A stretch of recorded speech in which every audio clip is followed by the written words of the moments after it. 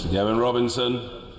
Oh, Mr. Speaker, and in thanking the Secretary of State for his statement, uh, may I just reflect that I think this is unprecedented in terms of political engagement a Northern Ireland trade dispute has had uh, from our government.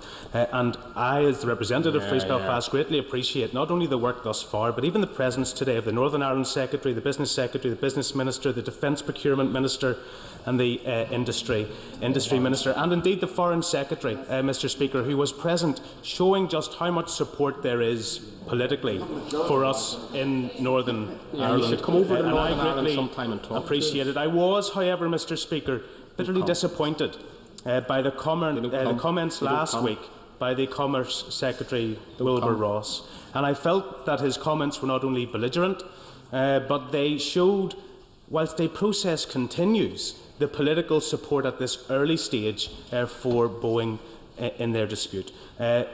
There is deep concern about the political overtures uh, tied up with this ongoing issue. Can I ask the Secretary of State, um, having engaged thus far and seen that that was the inevitable outcome uh, of the engagement, how long it will be until we can assuage the concerns of those in Belfast and in Canada uh, that there are meaningful and genuine consequences in store should there not be an adequate and a suitable resolution to this case? Well, I uh, repeat my thanks and admiration for the, uh, the work uh, of the uh, honourable gentleman who uh, is standing up for his constituents um, with, um, with vigour uh, and strength. Um, and I'd like to take the opportunity to pay tribute to, to the leader of his party, indeed um, community leaders across Northern Ireland for the, the united response that they've made.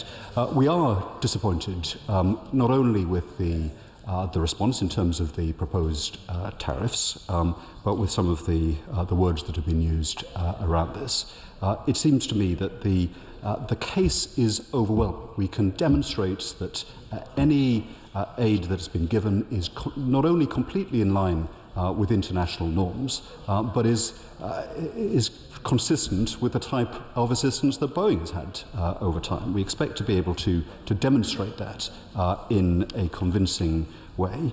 Um, it's also the case that it is uh, it seems to be impossible uh, for to establish detriment uh, to Boeing, given that they don't have a competitor aircraft.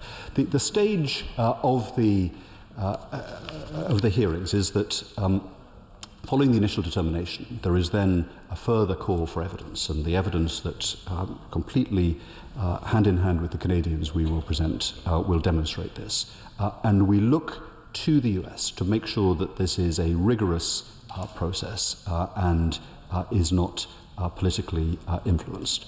But we have been uh, very clear. The Defence Secretary, on a visit to, uh, to Northern Ireland, uh, was very clear, as I have been, that this is not the behaviour we expect from a trusted partner uh, and could have implications for the, uh, the future relationship uh, of, uh, bo- between Boeing uh, and the United Kingdom.